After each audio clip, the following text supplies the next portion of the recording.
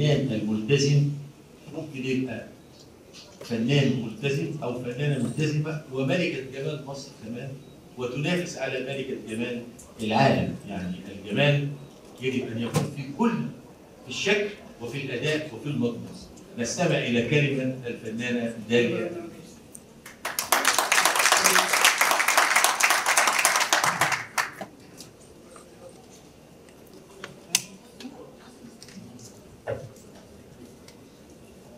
صباح الفل عليكم جميعا.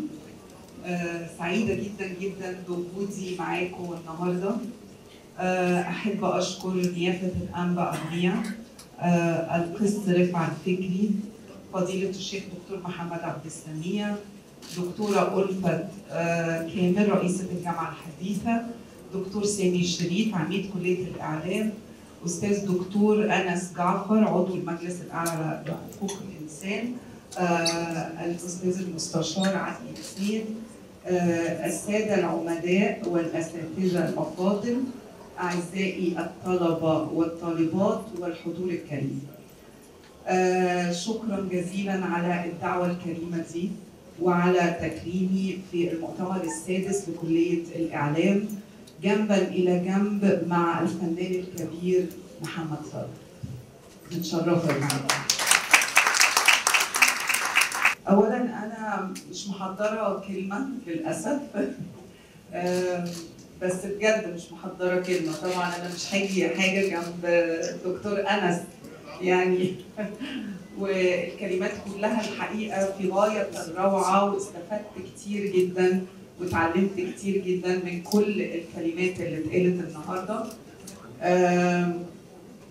الحقيقة أنا عايزة أقول إن أنا اتربيت آه، في الفضائية المصرية آه، تحت قيادة الإعلامية الكبيرة سناء منصور اللي اتعلمت منها كتير قوي اتعلمت منها قيمة الكلمة قيمة القلم عند أي صحفي وشرف هذه المهنة. يعني إيه أعرف كل كلمة طالعة رايحة فين وإزاي وإمتى؟ وليه وللأسف آه، ده مش موجود. في إعلام آه، مش هقول مختفي تماما ولكن للأسف ده غايب عن الإعلام اللي موجود دلوقتي. آه، الإعلام هو سلاح خطير جدا جدا جدا في توجيه الرأي العام وتحريك الجمهور والتأثير في الهوية المصرية. آه، يعني الأمل في ال- في الكليات زي كلية الإعلام في جامعات مصر إن هي تخرج إعلاميين عن حق آه، يقدروا قيمة آه، القلم اللي في إيديهم وقيمة الكلمة اللي بتخرج ويراعوا ربنا فيها قوي قوي لأن دي هتفرق في في وجدان ولادنا وفي مستقبل آه، بلدنا. أنا مش عايزة أطول في الكلام بس برضو عايزة أقول إن الفنان المصري آم، قيمة كبيرة جدا لازم نحافظ عليها آه، لأن أنا بشوف تطور كتير جدا على قامات كبيرة مش بس من الفنانين بس قامات في كل المجالات. وإحنا لازم نخلي بالنا من حاجة زي كده علشان دي قامات بلدنا. قامات بلدنا مهمة جدا جدا جدا. أنا متشرفة بوجودي النهارده آه، في الجامعة الحديثة في كلية الإعلام آه، لأن أنا عارفة قيمة تكريم زي ده آه، ما قدرتش أتأخر و- وقلت لازم أجي. آه، عايزة أقول بس اخذت جايزة آم، آه، من المجلس الأعلى لحقوق الإنسان عن مسلسل صرخة أنثى. اخذنا جائزه أولى. آه، لأن المسلسل ده كان في غاية ال- الجرأة في الموضوع.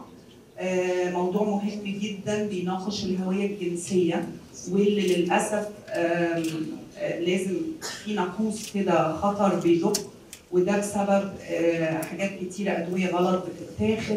هرمونات اللي موجودة في المواد ال- ال- السماد وحاجات كتيرة قوي بتأثر على مواليد العرب بنسبة 10% 10% فقدان هوية جنسية. فإحنا عملنا المسلسل ده يمكن من أكتر من عشر سنين وكان ساعتها يعني قنبلة أقدر أقول طلعت كده في وسط ال والحمد لله نال على آه، حاز على الجائزة الأولى. فأنا الحقيقة بحب المسلسل ده جدا جدا و... وعايزة أقول إن الفن بيقدر يقدم كتير جدا ممكن ما يقدم لناش حلول لمشاكل بس ممكن يلقي الضوء على مشاكل علشان نقدر نتناقش فيها ونتكلم فيها.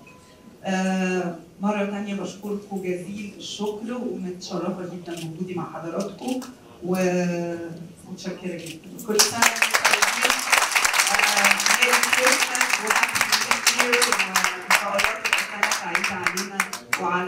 مصر والعالم العربي. شكرا. شكرا